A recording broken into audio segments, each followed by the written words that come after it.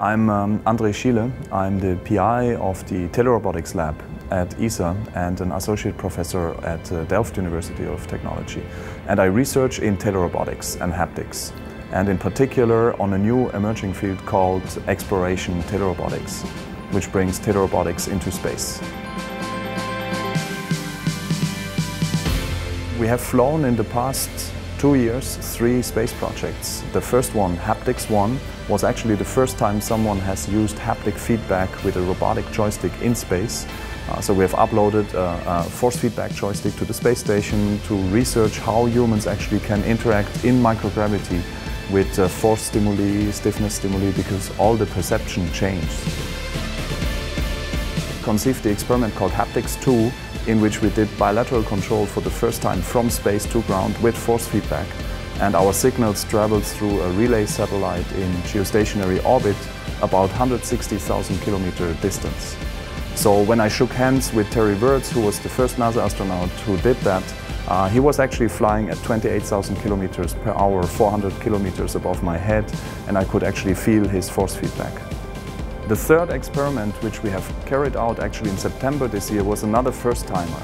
Uh, we have controlled the Interact uh, robotic system that you see here from space with Andreas Mogensen, the uh, Danish, the first Danish astronaut. And he has performed the first mechanical assembly that was actually done on Earth, remote controlled from space. So he used that same link of 160,000 uh, kilometer signal travel round trip uh, in order to insert a pack into a hole with a tolerance of only 150 micrometers. And um, this shows a new era how telerobotics can be used in space.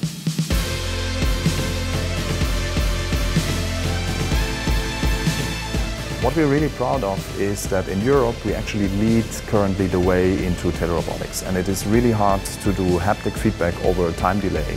Uh, so we focus specifically on control methods that cope with time delay and narrow bandwidths, communication channels and packet loss and so forth in order to still have robust and if possible transparent teleoperation system.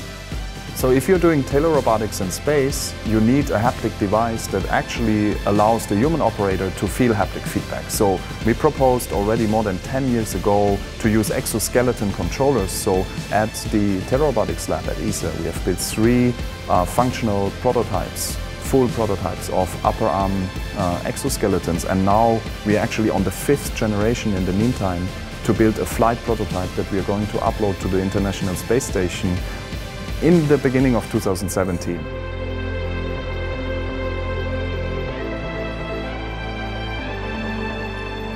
We have sent people to the moon, but not yet to Mars. And that's actually not really feasible to send humans to Mars right now. So we are proposing this new science of space or exploration telerobotics in which humans will be around orbit and actually the robotic systems on the surface will present the skill of the humans that are actually in orbit.